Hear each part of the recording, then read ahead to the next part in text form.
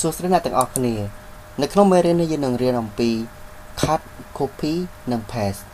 មុនពេលប្រើប្រាស់ command cut copy និង paste ខ្ញុំសូមបញ្ចូលពីពាក្យទាំង3នេះជាមុនសិន cut មានន័យថាយើងធ្វើការផ្លាស់ប្ដូរ text ដែលយើងបាន select ពីទីតាំងចាស់ទៅដាក់ទីតាំងថ្មី copy មានន័យថាយើងថតចម្លង text ដែលយើងបាន select ទៅដាក់ទីតាំងជាក់លាក់ណាមួយ paste មានន័យថាបង្ហាញ text ដែលយើងបាន select សំទោសបង្ហាញ text ដែលយើងបាន cut ឬ copy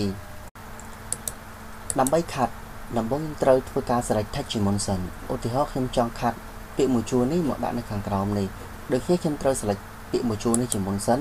បន្ទាប់មកទៀតខ្ញុំចូលទៅកាន់ home tab រួចចុចនៅលើប៊ូតុង cut ឬប្រើប្រាស់ shortcut key control x ឬមួយក៏ខ្ញុំអាច right click នៅលើពាក្យដែលខ្ញុំបាន select នោះបន្ទាប់មកខ្ញុំចុចនៅលើពាក្យ cut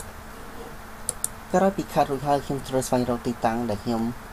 ជ្រើសរើសរួច paste ពាក្យនោះខ្ញុំអាច right click ឬចុចនៅលើពាក្យ paste នេះឬមួយក៏ចូលទៅក្នុង paste នៅក្នុង home tab នេះយើងឃើញថាពាក្យមួយជួរនេះបានធ្វើការផ្លាស់ប្ដូរពីទីតាំងចាស់មកទីតាំងថ្មីដើម្បីធ្វើការ copy យើងក៏ត្រូវអនុវត្តដូច cut ដែរដំបូងយើងត្រូវធ្វើការ select text ជាមុនសិន ឧទាហរណ៍ខ្ញុំចង់ copy ពាក្យមួយជួរនេះដាក់នៅផ្នែកខាងលើនេះដូច្នេះដំបូងខ្ញុំត្រូវ select text នេះជាមុនសិនបន្ទាប់មកទៀតខ្ញុំត្រូវចុចនៅលើប៊ូតុង copy ដែលស្ថិតនៅក្នុង home tab ឬមួយក៏ប្រើប្រាស់ shortcut key control C ឬក៏ខ្ញុំអាច right click នៅលើពាក្យដែលខ្ញុំបាន select នោះរួចខ្ញុំចុចនៅលើពាក្យ copy បន្ទាប់មកទៀតខ្ញុំត្រូវស្វែងរកទីតាំងដើម្បី paste ពាក្យនោះឧទាហរណ៍ថាខ្ញុំទុកវានៅទីនេះខ្ញុំអាច right click រួចចុច នៅលើប៊ូតុង paste នេះឬមួយក៏ខ្ញុំអាច